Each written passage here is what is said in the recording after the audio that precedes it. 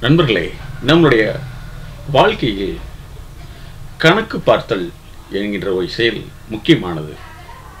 இந்த கணக்கு பார்த்தல் ஒவ்வொரு தனி மனிதனுடைய வாழ்க்கையிலும் எந்த காலகட்டத்தில் நடக்கிறது என்று நாங்கள் ஆய்வு செய்த பொழுது குறிப்பாக ஒரு நாற்பத்தைந்திலிருந்து ஐம்பது ஆண்டு முடிந்தபின்தான் ஒவ்வொரு மனிதனுடைய எண்ணத்திலும் இந்த சுய கணக்கு பார்த்தல் என்ற ஒரு செயல் நடைபெறுகிறது. பொதுவாக ஆடிட்டிங் என்று சொல்வோம். கணக்கு தணிக்கை. இது நம்முடைய வியாபாரத்துக்கு மட்டுமல்ல தொழில் நிறுவனத்துக்கு மட்டுமல்ல வாழ்க்கைக்கும் உண்டு என்பதுதான் எங்களுடைய எம்எஸ்கே தியரி எம்எஸ்கே என்பது ஒரு மனிதனுடைய இயக்கக்கூடிய மன பதிவுசார் அறிவு என்கின்ற ஒரு மென்பொருள் போல உள்ள உண்மை பொருள். இதன் அடிப்படையில் தான் ஒவ்வொரு தனி மனித உயிரினமும் உயிரும் இயங்கிக் கொண்டிருக்கிறது. இந்த லைஃப் ஆடிட்டிங் ப்ராசஸ் இதன் மூலமாக குறிப்பிட்ட சமயத்தில் ஏற்படக்கூடிய வாழ்க்கை நிகழ்வுகளை மாற்றியமைக்க முடியும். பொதுவாக எங்களுடைய நிறுவனத்தை அணுகக்கூடியவர்கள் இரண்டு வகையில் உள்ளனர். ஒன்று வாழ்க்கையை சரியாக நடத்துவதற்கான முன்னேற்பாடாக உளவியல் சார்ந்த நடைமுறை அணுகுமுறை அதனுடைய ஃபார்முலாவை தெரிந்து கொண்டு செயல்படுத்துவதற்காகவும் அந்த ஃபார்முலாவை செயல்படுத்தும் போது அதை அதை ப்ரொஃபஷனலாக கண்காணிப்பதற்கும் எங்களிடத்தில் வருகின்றனர். இது ஒரு பிரிவினர். இன்னொரு பிரிவினர் வாழ்க்கையில் பல தோல்விகளில் தோண்டு அதனால் பல்வேறு சிக்கலுக்கு உண்டாகி இந்த சிக்கலிலிருந்து மீண்டு வருவதற்குண்டான உளவியல் சார்ந்த நடைமுறை வாழ்க்கை மாற்றத்துக்காக வருகின்றனர். அதாவது இதை நாங்கள் இப்படி பார்க்கிறோம். ஒன்று ஒரு வியாபார ரீதியில் இதை பார்த்தால் வியாபாரம் நஷ்டமான பின் தொழில் நஷ்டமான பின் அதற்கப்புறம் நான் என்ன செய்வது என்று வழி தெரியாமல் ஒரு ஆலோசகரை பார்ப்பதை போல் உள்ளது.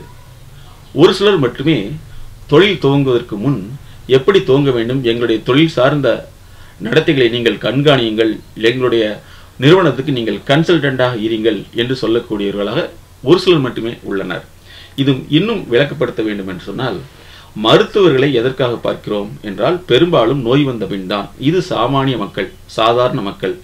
ஆனால் மருத்துவரை நான் நன்றாக உள்ளேனா என் உடலில் ஏதாவது மாற்றங்கள் ஏற்பட்டுள்ளதா மேற்கொண்டு என்னுடைய உடல்நிலையை நான் இதே போல மேலாண்மை செய்வதற்கும் இதைவிட சிறப்பாக மேலாண்மை செய்வதற்கும் நான் என்ன செய்ய வேண்டும் என்று கேட்கக்கூடிய அறிவும் நுண்ணறிவும் ஒரு சில மக்களுக்கே உள்ளது. அதாவது முன்னேற்பாடு செய்யக்கூடிய மக்கள் எல்லாமே முதல் தர மக்கள் நோய் வந்தபின் பார்க்கக்கூடிய மக்கள் அனைவருமே இரண்டாம் தரமான மக்கள் என்பதுதான் உலகில் சார்ந்த உண்மை நிலவரம். ஆகவே இந்த வீடியோ பிரசன்டேஷனில் நாங்கள் இந்த லைஃப் ஆடிட்டிங் என்பது அவசியம் என்று சொல்கிறோம். பெரும்பாலும் அதிகப்படியான நபர்களும் நண்பர்களும் தங்களுடைய வாழ்க்கை மகிழ்ச்சி என்ற பெயரில் பல்வேறு விதமான சோசியல் ஒர்க்கை சம்மந்தம் இல்லாமல் செய்துவிட்டு தன்னுடைய வாழ்க்கையில் இறுதி கட்டத்தில் நான் வாழ்நாளை வீணடித்து விட்டேன். நான் செய்வதெல்லாம் தவறாக விட்டது.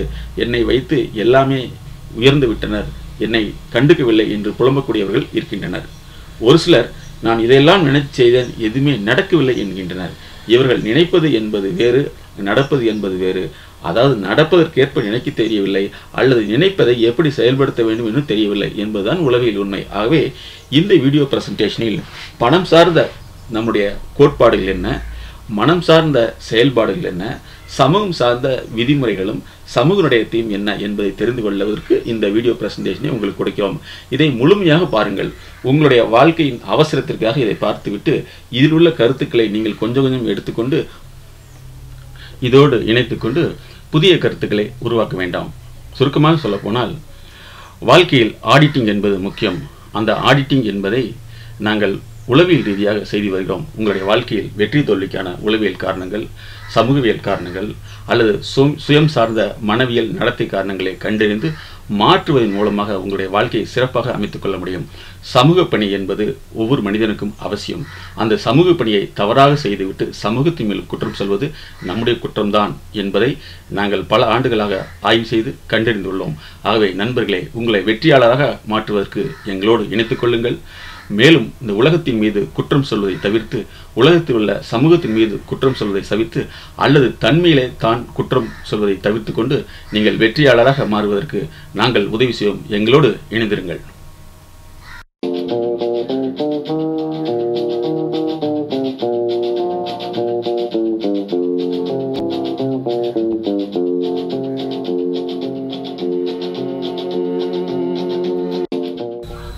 Welcome to MSK life clinic foundation பண பயம். Fear of money money fear எல்லாரும் கேள்விப்பட்டிருப்போம். மன பயம் இல்லை. இது பண பயம். இந்த பண பயம் யாருக்கு உள்ளதோ அவர்கள் தொழில்துறையில் முன்னேற முடியாது. அவர்களை சுற்றி சூழ்வதெல்லாம் கடன் என்கின்ற ஒரு சுமைதான். இந்த பண பயத்தை போக்குவதற்கு எங்களுடைய எம்எஸ்கே தீரி அடிப்படையிலான வாழ்வியல் சார்ந்த நடைமுறை செயல் திட்டங்கள் உள்ளன. நாங்கள் பணத்துறையில் வெற்றி பெற்றவர்கள் பணம் சேர்ப்பவர்கள் இவர்களை பற்றிய ஆய்வு நடத்தியதில் எங்களுக்கு கிடைத்த தகவலும் எங்களுடைய ஆய்வு முடிவும் ஒன்றாகவே இருந்தது.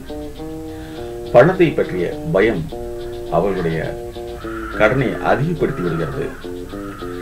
அப்படி என்றால் இந்த பண பயம் உள்ளது என்பதை எப்படி தெரிந்து கொள்வது? பொதுவாக இந்த பண பய நோயினால் பாதிக்கப்பட்டவர்கள் தங்களை மிகப்பெரிய அளவில் காட்டிக்கொள்வார்கள். அவர்களுக்கு எல்லைக்குட்பட்ட விலையில் உள்ள நிலையில் உள்ள பொருட்களை அவர்கள் வாங்குவார்கள். அதே சமயத்தில் அவர்களுக்கு எல்லைக்கும் விலைக்கும் அப்பாற்பட்ட செயலில் வெறுப்பு கொள்வார்கள். உதாரணமாக எங்களுடைய நிறுவனத்தில் பல்வேறு சிறப்பு கோர்ஸ் என்று சொல்லக்கூடிய வாழ்வியலை மேம்படுத்தும் சிறப்பு பயிற்சி சார்ந்த கற்றல் முறைகள் உள்ளன. இவை யாவும் சாதாரணமாக எடுத்துக்கொண்டால் ஒரு ஸ்கோர்ஸ் என்று சொன்னாலே ஏதோ ஒரு பாடத்திட்டம் தான் என்று நினைத்துக் கொள்வார்கள். உதாரணமாக இந்த டியூஷன் சென்டரில் என்ன பண்ணுவாங்க அப்படின்னா ஐயாயிரம் பத்தாயிரம் ஃபீஸ் வாங்கிட்டு வருஷம் முழுவதும் சாக வரைக்கும் டியூஷன் போயிட்டே இருக்கிற மாதிரி பண்ணிடுவாங்க. இப்போ பாருங்கள் எல்கேஜிக்கு டியூஷன் யூகேஜிக்கு டியூஷன்ஸ் ப்ளஸ் டூக்கு டியூஷன் நீட்டுக்கு டியூஷன் அதுக்கப்புறம் வேறு எல்லாத்துக்கும் டியூஷன் டியூஷன் டியூஷன் யாருக்காவது வந்து என்ன இங்கிலீஷ்லாம் படிக்கிறாங்க இது எதுக்கு டியூஷன் அப்படிங்கிற இன்ஸ்டியூஷன் இருக்குதா அப்படின்னா இல்லை. இது யாருக்கு இருக்கிறது என்று சொன்னால் இந்த பெரு நிறுவனங்களில் உயர் பதவியில் வகிப்பவர்கள் பெரு நிறுவனங்களில் தொழிலதிபர்கள் இவர்களுக்கு மட்டுமே இதை பற்றிய உணர்வு உள்ளது. அவர்கள் மட்டுமே எங்களை அணுகி இது என்ன சார் இது? எப்போ பார்த்தாலும் டியூஷன் டியூஷன் சொல்லிட்டே இருக்காங்க. அப்புறம் எதுக்கு தான் படிக்கணும்? இதுக்கு என்ன வழி? என்று கேட்கின்றனர். அது மட்டும் இல்லாமல் பள்ளிக்கூடம் காலேஜ் ஸ்கூல் காலேஜ் என்கின்ற அந்த அமைப்பில் நடப்பது என்ன? ஒரு போர்டு முன்னாடி ஒருத்தர் வந்து புக்கில் உள்ளதை சொல்லுவார். அது எல்லாமே கேட்டுட்ருப்பாங்க. அவர் சொன்னால் எழுதுவாங்க. அதை எழுதிட்டு திரும்ப மனப்பாடம் பண்ணி எக்ஸாம் அப்படிங்கிற ஒரு செயல் நடக்கிறப்ப அவங்க அதை அப்படியே எழுதிடணும். இவ்வளவுதான். இதுக்கு அப்பால் ஏதாவது இருக்குதா? படிக்கிறதுங்கிறது இதுதானா? என்ற கேள்வி அவர்கள் மட்டுமே கேட்கின்றனர். அப்பொழுது அவர்களுக்கு இருக்கிற நுண்ணறிவு மற்றவர்களுக்கு இருப்பது அறிவு இவர்களுக்கு மட்டுமே நுண்ணறிவு உள்ளது. இந்த நுண்ணறிவு உள்ளவர்களுடைய தேவையை பூர்த்தியாக்குவதற்கு எங்களுடைய பல செயல் திட்ட என்று சொல்லக்கூடிய ப்ராஜெக்டை செய்து வருகிறோம்.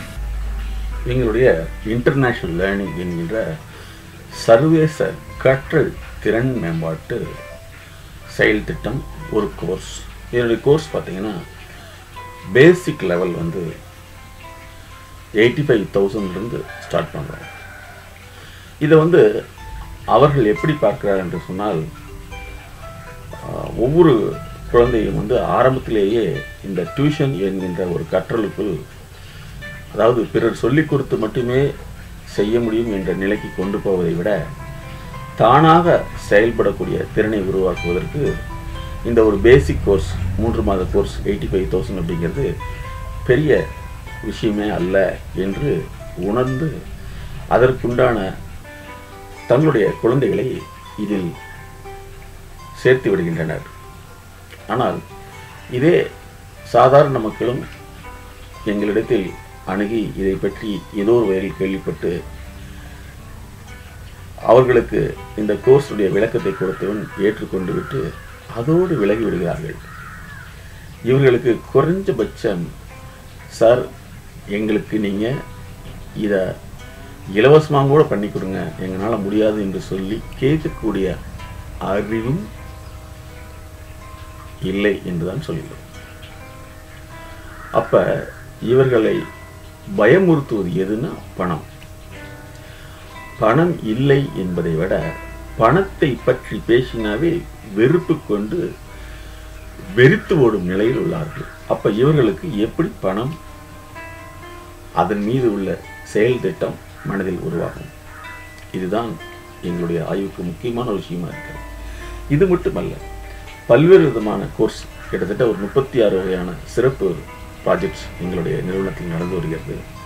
ஒவ்வொரு ப்ராஜெக்டும் சொல்லும் பொழுது அந்த மேல்தட்டு மக்கள் மட்டுமே அதை உணர்ந்து கொள்கின்றனர். சாமானிய மக்கள் அதை உணர்ந்தாலும் சார் அதை பெறுவதற்கு உண்டான வழிவகைகளையும் வார்த்தை வகைகளையும் தெரியாமல் வெறுத்து விடுகின்றனர். இதுவே எங்களுடைய ஆய்வுக்கு மிகச்சிறந்த உதாரணமாக எங்களுக்கு இருந்தது. ஏன் அவர்கள் முன்னேறுகின்றனர்? ஏன் இவர்கள் முன்னேறுவதாக நினைச்சு பின்னேறி கொண்டிருக்கின்றனர்? பார்த்தா ரொம்ப பிரபலமாக தன்னை பேசிக்கொள்கிறார்கள் தன்னை பிரபலமான நபராக காட்டிக்கொள்கிறார்கள் ஆனால் அவர்களுக்கு உள்ளது பணத்தை பற்றிய அதீத பயம். பணம் என்பதை பற்றி கேள்விப்பட்டால் வெறித்து ஓடுகின்றனர். அப்பொழுதுதான் நாங்கள் ஒரு விஷயத்தை தெரிந்து கொண்டோம். இந்த பண பயத்தின் வெளிப்பாடாக அவர்கள் பணத்தை விரும்புவதோல் விரும்புவது போல் நினைத்து வெறுக்கின்றனர் என்று. இப்படி பெரும்பாலானவர்கள் இருக்கின்றனர். அதாவது வாழ்நாளில் ஒரு முறையாவது இந்த ஸ்டார் ஹோட்டல் என்று சொல்லக்கூடிய ஒரு ஹோட்டலில் தங்குவதற்கு ஒரு முயற்சி எடுக்க வேண்டும்.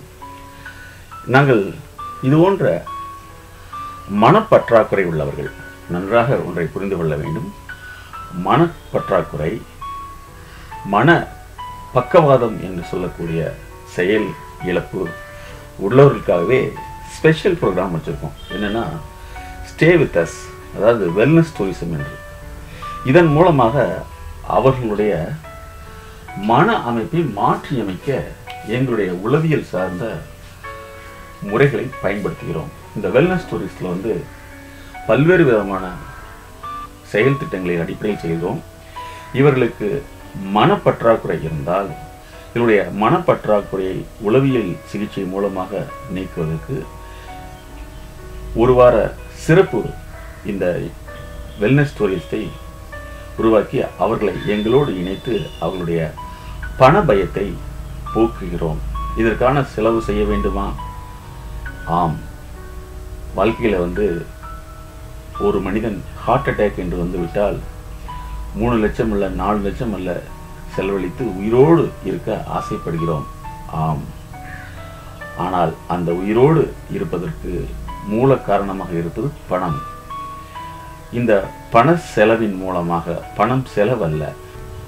உங்களுக்குள் உள்ள குறையை ஒருவர் மட்டுமல்ல பல பேர் தன்னுடைய ஆய்வின் மூலமாக கண்டிருந்த விஷயங்களின் மூலமாக உங்களுடைய அந்த நோயை குணப்படுத்துவதற்கு நீங்கள் அவர்களுக்கு ஈடு செய்ய வேண்டிய தொகைதான் அந்த ஹார்ட் சர்ஜரிக்கு உண்டான ஃபீஸ் என்று வைத்துக் கொண்டால் அதே போல உங்களுடைய பாரம்பரியத்தையே மாற்றக்கூடிய இயல்பு இந்த மனப்பற்றாக்குறை. பணப்பற்றாக்குறை என்கின்ற இயல்பு. அதாவது இந்த மன பண பயம். இவற்றை நீக்குவதற்கு நீங்கள் செலவு செய்தால் அது செலவல்ல முதலீடு என்பதை நீங்கள் புரிந்து கொள்ள வேண்டும்.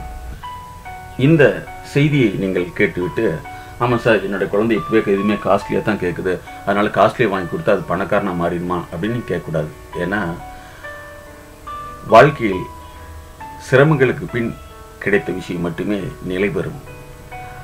அப்படி இல்லாமல் இன்றைய குழந்தைகள் தற்பெருமையிலும் ஈகோ என்கின்ற தன்முனைப்பிலும் மிக காஸ்ட்லியான பைக் மிக காஸ்ட்லியான வண்டியை வாங்கி கடைசியில் உருக்குலைந்து போகின்றனர்.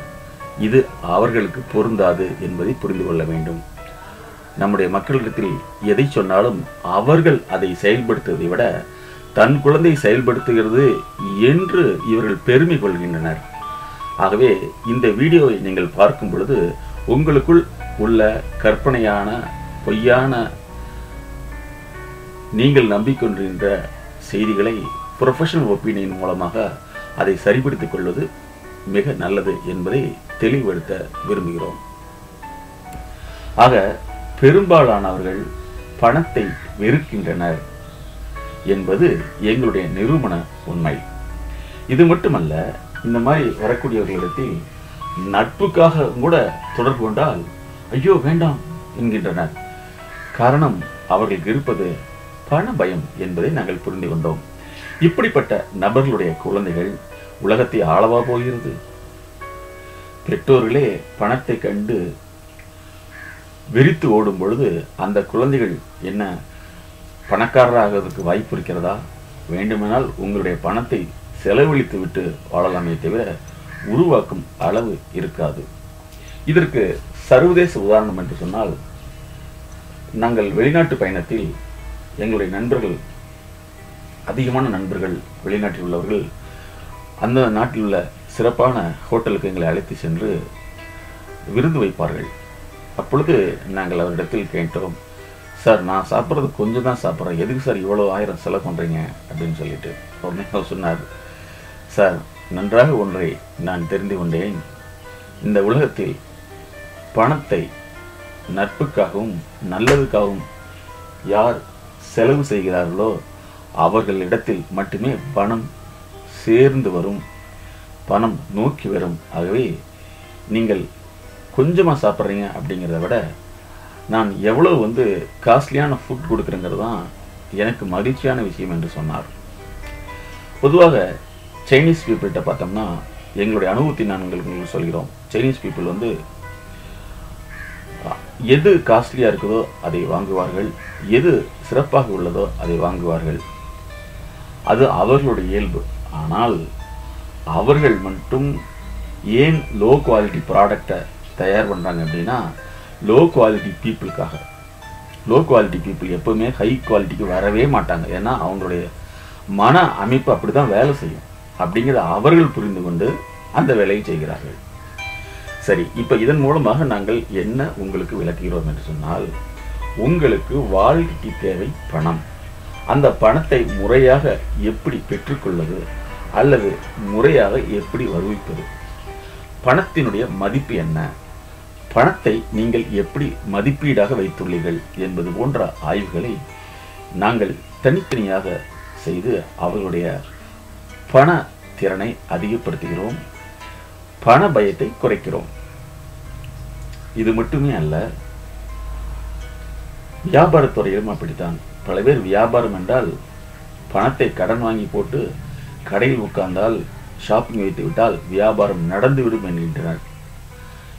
இது இவர்களுக்கு தப்பபிப்பிராயம் இது தவறான கருத்து என்று இவர்களுக்கு கடன் அதிகமானவன் புரிந்து கொள்கிறது. இப்படியும் உள்ளனர். இன்னும் ஒரு வகையினர். தாங்கள் பிறரிடத்தில் சமூக சேவை செய்து தங்களை உயர்த்தி கொள்ள வேண்டும் அதாவது பெருமை கொள்ள வேண்டும் என்று நினைக்கின்றனர்.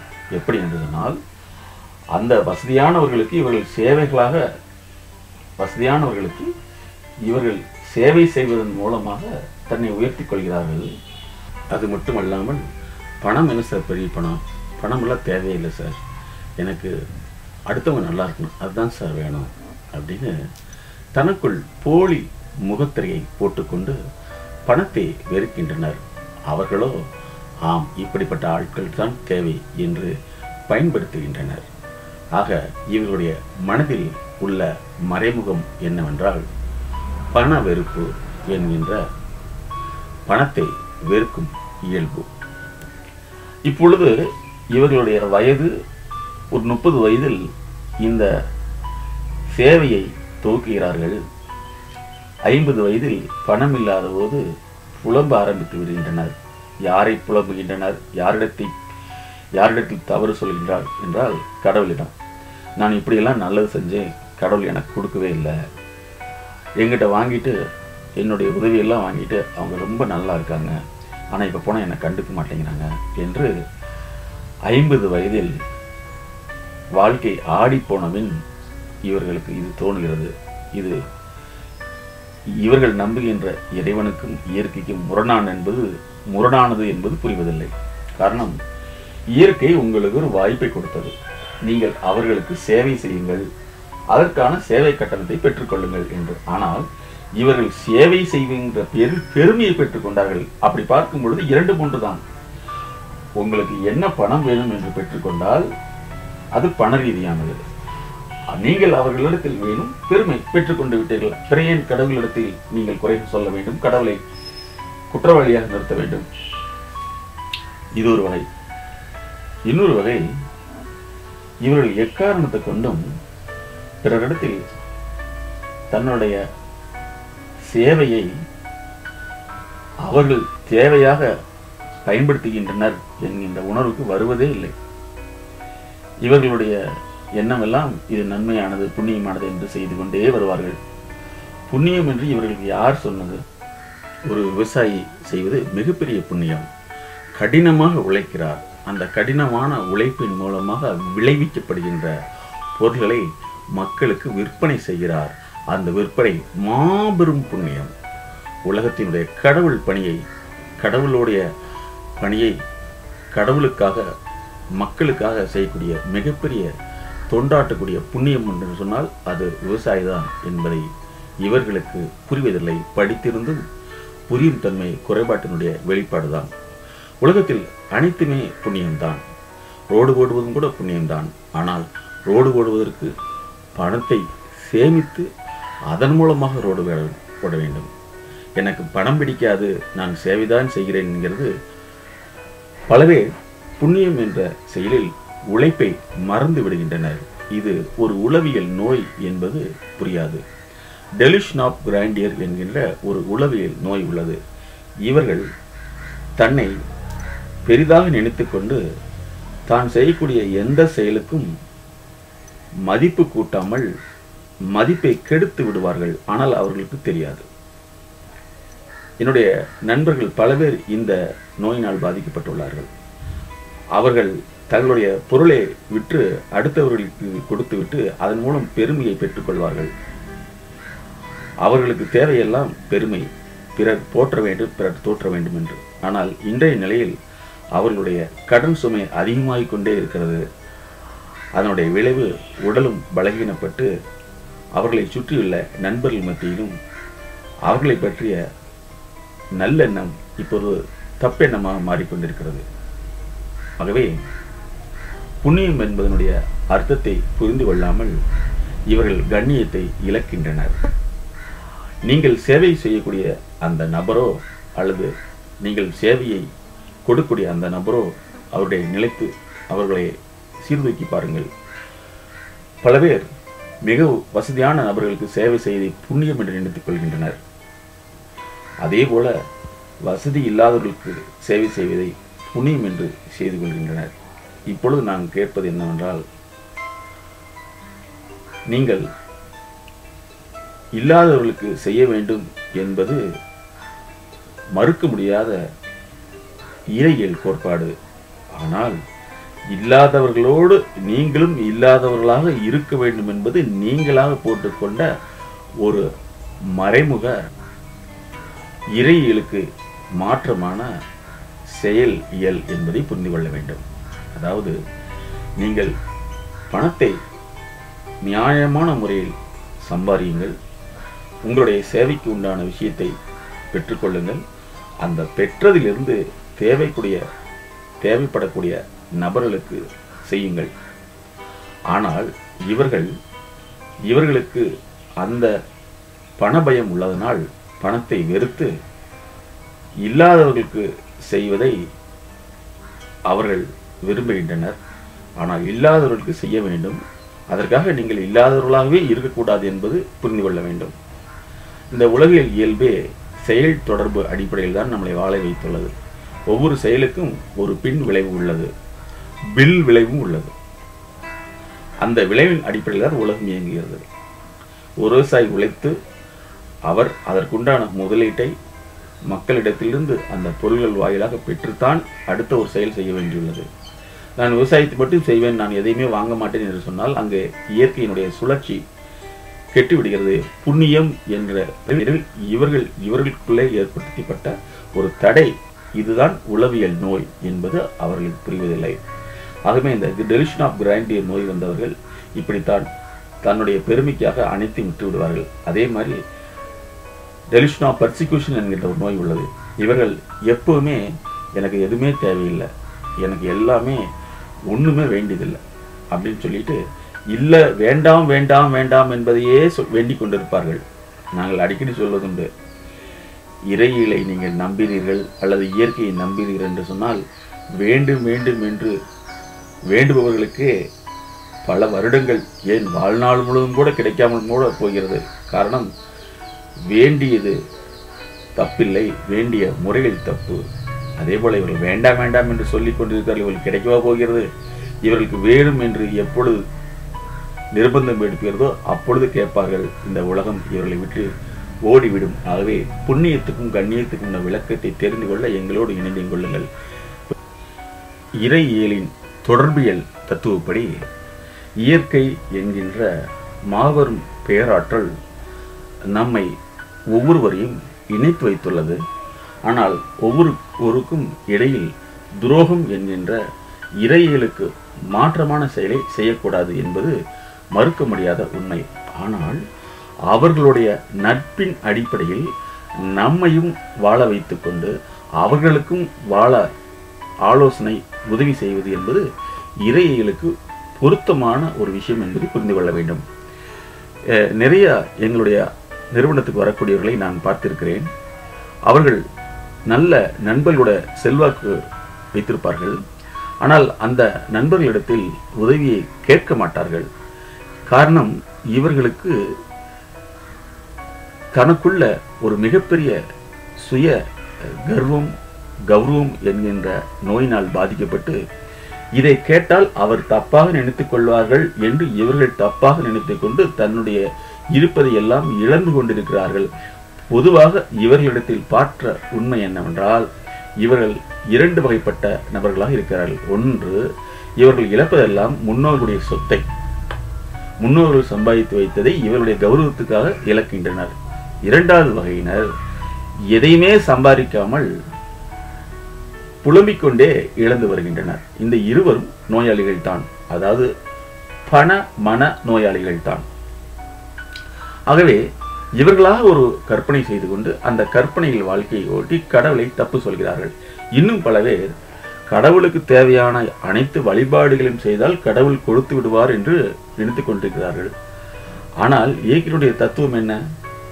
நீங்கள் உழைத்தால்தான் ஊதியம் கிடைக்கும். அதான் கடவுளுடைய கடமையியல் தத்துவம்.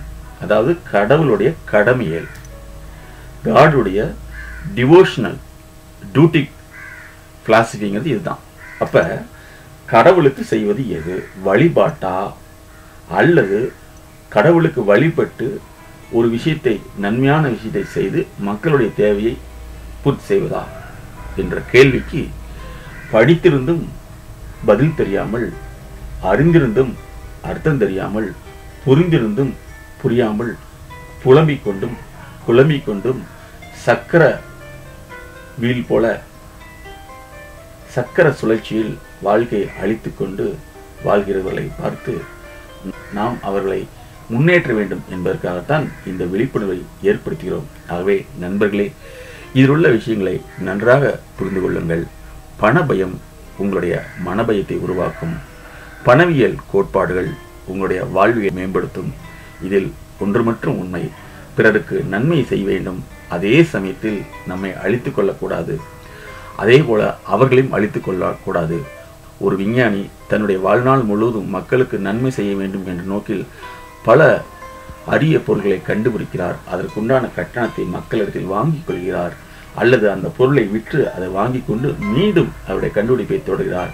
இந்த அறியும் சுழற்சி அறிவு சுழற்சிக்கு இடையாக உள்ள இந்த தொடர்பியல் உண்மைகளை புரிந்து கொள்ள வேண்டும் என்பதற்காகவே நாங்கள் அரசியல் அதாவது கிங்டமோலாஜி என்பதை உருவாக்கியுள்ளோம். அரசு இயல் என்பதை பற்றிய விழிப்புணர்வை நாங்கள் உங்களுக்கு கொடுக்கிறோம். எங்களோடு இணைந்து கொண்டுங்கள். மீண்டும் அந்த புண்ணியத்தை பற்றி பார்ப்போம். பல கோடிகளை சம்பாதித்து இருக்கிறவர்கள் புண்ணியைத்தான் செய்கிறார்கள். உதாரணமாக செல்போன் இண்டஸ்ட்ரி. அவங்க வந்து பல லட்சம் கோடிகளை போட்டு சமுதாயத்துக்கு கனெக்டிவிட்டி என்று சொல்லக்கூடிய தகவல் தொடர்பு சாதனத்தை உருவாக்கியுள்ளார்கள். அவர்கள் செய்வதும் புண்ணியம்தான். ஆனால் அதற்குண்டான கட்டணத்தை உங்களிடத்தில் வாங்கிக் கொள்கிறார்கள். அவர்கள் ஒன்றும் தர்மம் செய்யவில்லை. அவர்கள் செய்வதும் புண்ணியம்தான். ஆனால் புண்ணியத்துக்குண்டான சேவை கட்டணத்தை பயன்படுத்துகிறார்கள். அதாவது உங்களுடைய தேவையை அவர்கள் பூர்த்தி செய்து அந்த பூர்த்திக்கான கட்டணத்தை வசூலிக்கிறார்கள். ஆனால் பல பேர் கடவுளின் பெயரால் தன்னுடைய ஈகோ என்கின்ற தன்முனைப்பு பெருமையால் பல சேவைகளை செய்துவிட்டு கடைசியில் இவர்கள் செய்த தவறுக்கு கடவுளை குற்றம் சொல்கின்றனர். இன்னும் பல பேர் கிரகங்களை குற்றம் சொல்கின்றனர். பல பேர் பேரை குற்றம் சொல்கின்றனர்.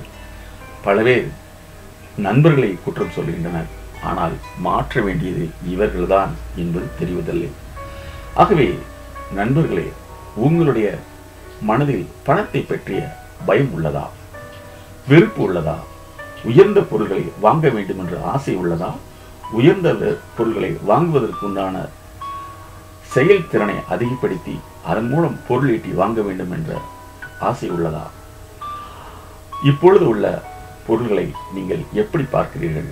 இது உங்களுக்கு உணர்வுக்கும் மனதுக்கும் எந்த நிலையை ஏற்படுத்துகிறது இது போன்ற பல்வேறு விதமான உளவியல் சார்ந்த சிக்கலை கட்டவிழ்த்து நீங்கள் உங்கள் வாழ்க்கையை கட்டுமானப்படுத்துவதற்கு எங்களோடு இணைந்திருங்கள். மேலும் விவரங்களுக்கு எங்களுடைய நிறுவனத்தை தொடர்பு கொள்ளுங்கள். Welcome to MSK life clinic foundation சொல்ல முடியாத அழுத்த நினைவுகள் அடக்க முடியாத அழுகை. கட்டுப்படுத்த முடியாத கோபம் தாங்க முடியாத கஷ்டம். தன்னை யாரும் புரிந்து கொள்வதில்லை என்ற ஏக்கம் அதிகமான பயம் தூக்கமின்மை உடல் சார்ந்த வழி இன்னும் இது போன்று பல சிக்கல்களிலிருந்து விடுபட நாங்கள் உதவுகிறோம். அணுகவும். உளவியல் முதல் உதவிக்கு எம்எஸ்கே ஜஸ்ட் கால் தொண்ணூற்றி மூணு அறுநூற்றி ரெண்டு ஐம்பத்தி மூணு தொள்ளாயிரத்தி முப்பது.